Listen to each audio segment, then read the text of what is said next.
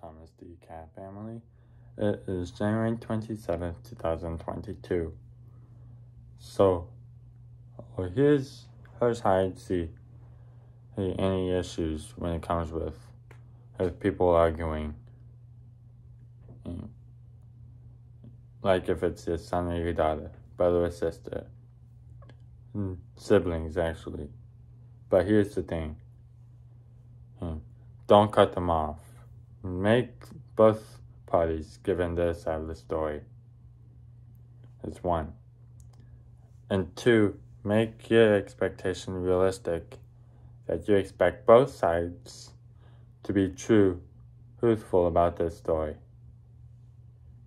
Okay, because there's, you have to be at least truthful when you are presenting your side of the story if there's a conflict usually the person who's truthful will win. And so, the only way, best way I can ever uh, tell you on how to break up a conflict is that you give in your side of the story and that you let the other party give their side of the story. And if you don't want to hear it, well, well, guess what?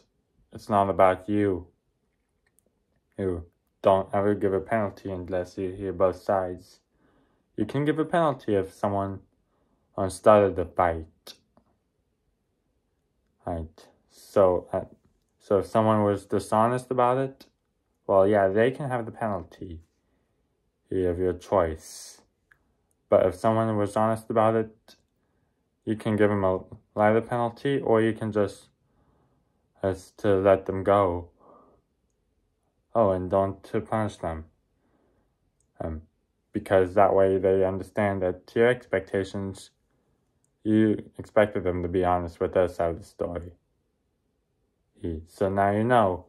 So please comment, like, rate, uh, subscribe, discuss and think, and you have a good night.